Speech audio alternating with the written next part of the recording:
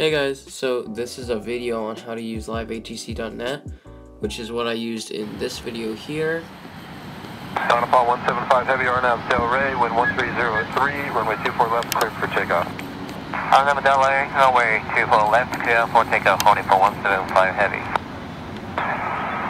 Thunder 5 Delta, clear to Bravo airspace, shoreline around north, maintain VFR below 150. Traffic departing the north complex, taking the runway now, heavy 777 report of set. First off, what you're going to want to do is go to this website here, www.liveatc.net. This is where you can pick your airport tower to listen to. Once you're there, go to the left side of the screen. You should see airport slash ARTCC code. Type in your airport. I'll be typing KLAX. And find the frequency that you'd like to listen to. I will be finding tower because they control departures and arrivals. There it is. Click the first option, listen in browser, HTML5. Like it says, if stream does not start automatically, then just click the button.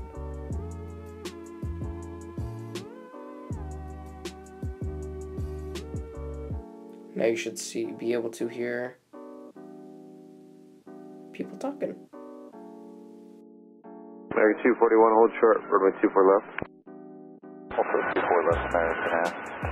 Now, second step, if you want to go even further as a plane spotter or just like looking, for example, uh, type in the airport that you're listening to, find it. Like I said, I'll be typing KLAX, and you can see to check and make sure that's on. Skywest 5703 LA Tower, hello, wind 2305, runway 24 right, clear to land. Alright, thank you, 24 right, clear to land, Skywest American 241 at Alpha Alpha, cross 22 for left, ground point 65. Alright, Alpha Alpha cross 24 left, ground point 65, American 241. South 1331, contact SoCal, see ya.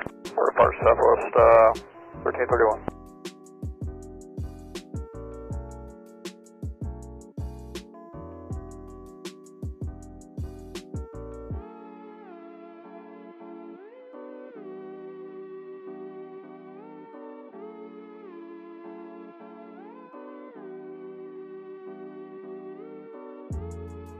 Uh, targeting American 1721's on ILS 248.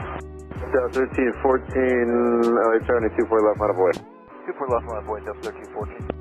American 1721, LA Tower 12205, runway 24 right, clear to land.